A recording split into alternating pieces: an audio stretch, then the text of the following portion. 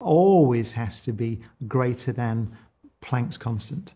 So it's a fundamental property of the universe. And there are different ways of thinking about it. Uh, Planck first introduced it in the context of the, the frequency or the wavelength of light emitted from hot objects. Uh, photons, what's the energy of a photon? A packet of light, it's Planck's constant multiplied by the frequency.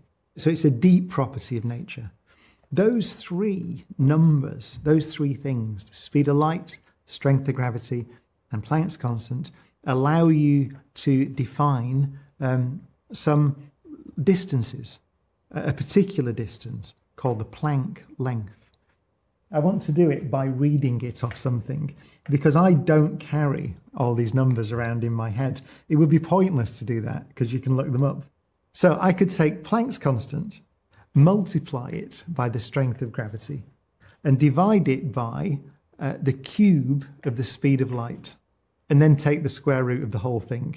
So it's, it's hg divided by c cubed square root. You'll find that that has, if, if you put those things in in